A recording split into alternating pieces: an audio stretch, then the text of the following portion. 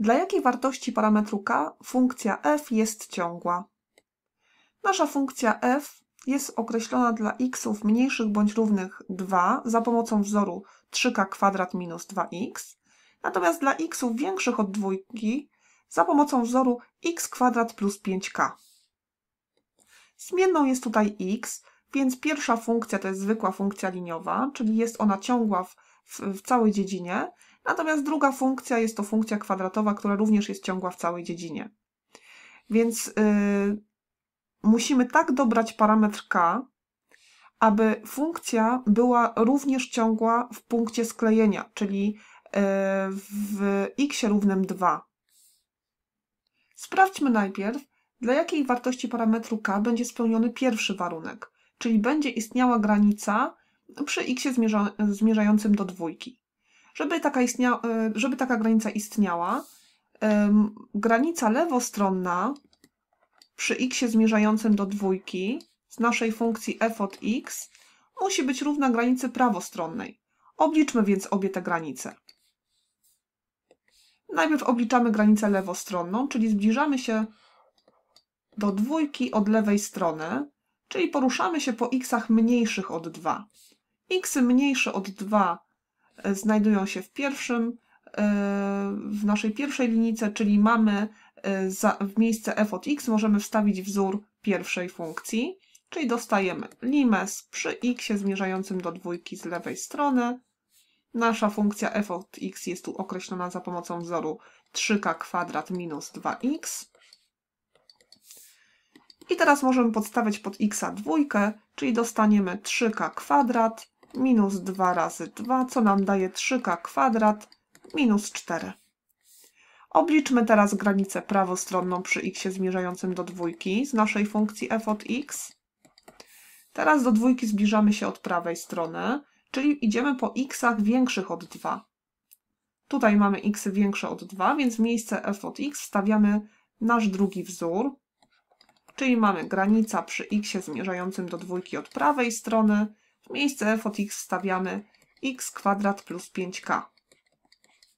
Obliczmy tą granicę, czyli pod x wstawiamy dwójkę. Dostaniemy 2 do kwadratu plus 5k, co nam daje 4 plus 5k. Aby był spełniony pierwszy warunek, czyli aby istniała granica e, przy x zmierzającym do dwójki, granica lewostronna musi być równa granicy prawostronnej.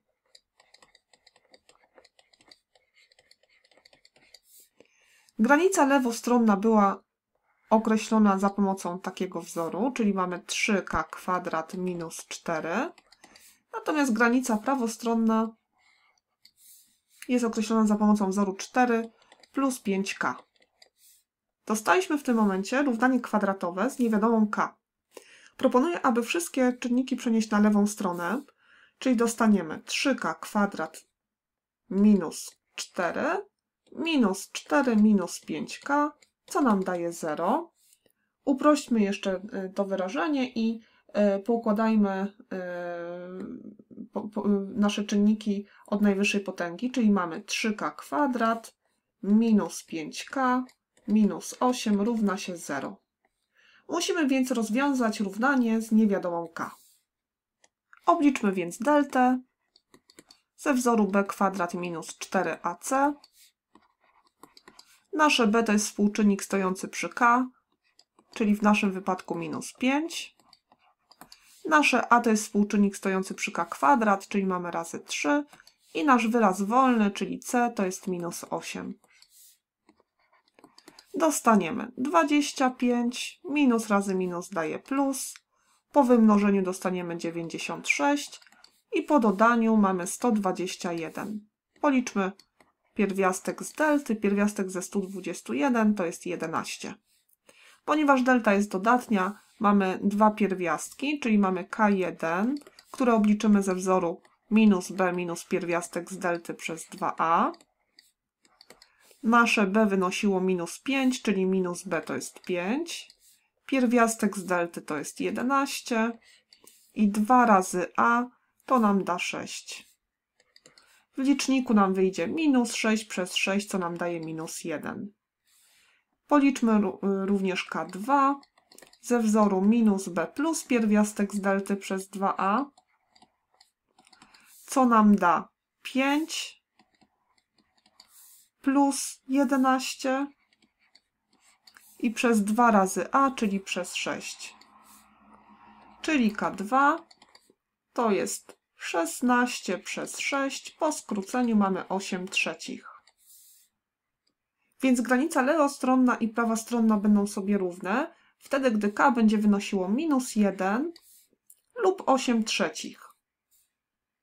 W takim wypadku będzie spełniony pierwszy warunek.